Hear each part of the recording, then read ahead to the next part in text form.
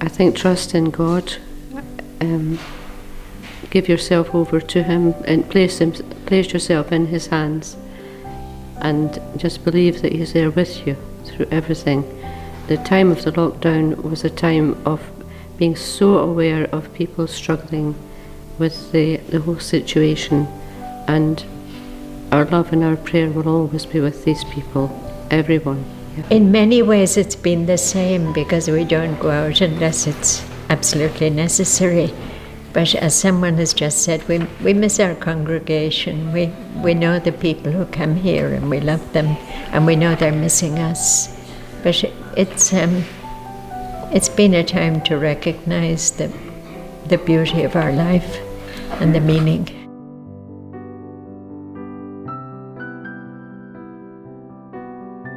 God's hand is in all circumstances of life. He doesn't wish things to happen, but He allows them to happen. And I think it has been a great grace for the country, although we do miss the sacrament, they will miss the sacraments, and of course all families meeting together. But we, will, we do keep them in prayer and we hold them before the Lord every day. Just trust God in all situations and be sure that He will be close to you to help you through them.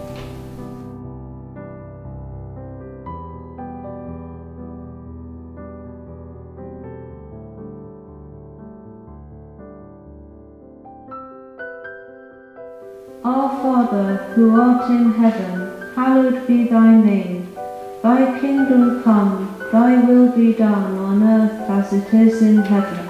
And give us this day our daily and forgive us our trespasses, as we forgive those who trespass against us. And lead us not into temptation, but deliver us from evil. Hail Mary, full of grace, the Lord is with thee. Blessed art thou among women, and blessed is the fruit of thy womb, Jesus.